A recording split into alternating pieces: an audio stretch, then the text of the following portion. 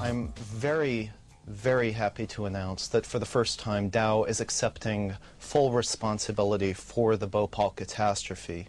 We have a $12 billion plan to finally, at long last, fully compensate the victims, including the 120,000 who may need medical care for their entire lives, and to fully and swiftly remediate the Bhopal plant site.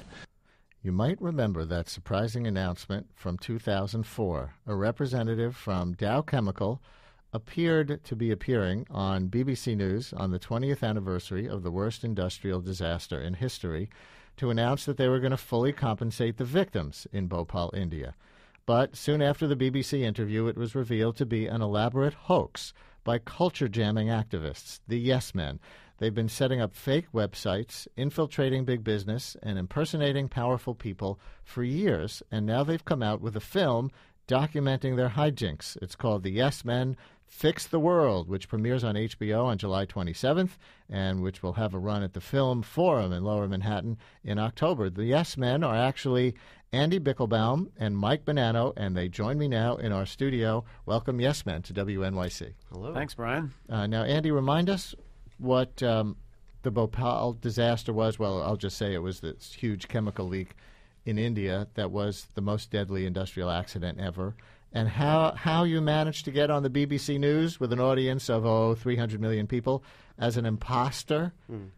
Well, in, uh, in 2001, uh, Dow Chemical Corporation bought Union Carbide, the company responsible for the um, Bhopal catastrophe, but they basically refused to assume any of their liabilities in India. They they paid their American the v- American victims of Union Carbide's uh, toxic legacy, but not the ones in India.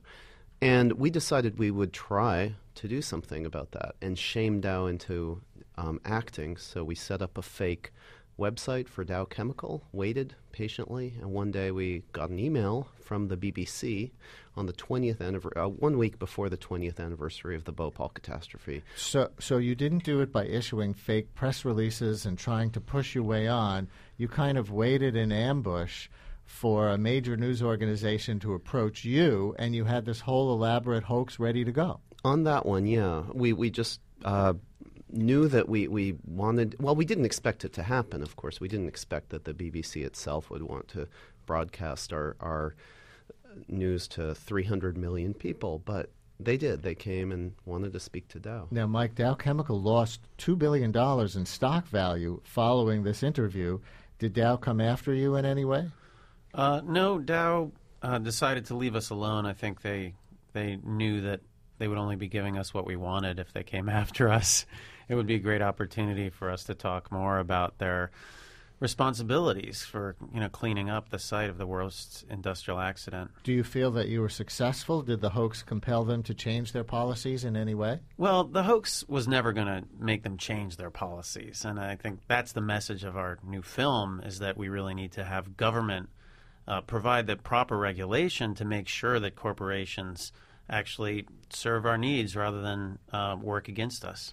So here's another clip from the film. You're posing as representatives from Exxon this time, and you're presenting a new biofuel product to a group of oil executives. It was time to introduce Reggie Watts, the dying Exxon janitor who had volunteered to be turned into fuel. I think I'd like to be a, a, a candle.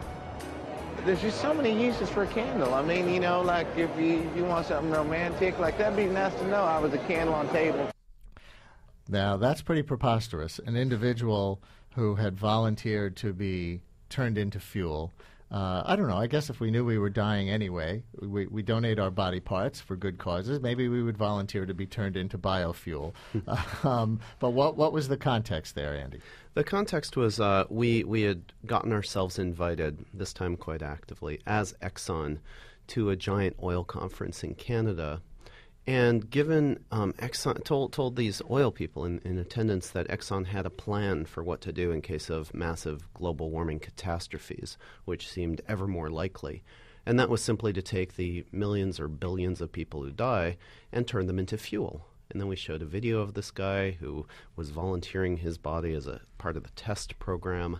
And when people realized that the candles they were holding in their hands were actually made from this guy that they were seeing on the screen, God. they freaked out a little bit. Yeah, and but of course it wasn't true.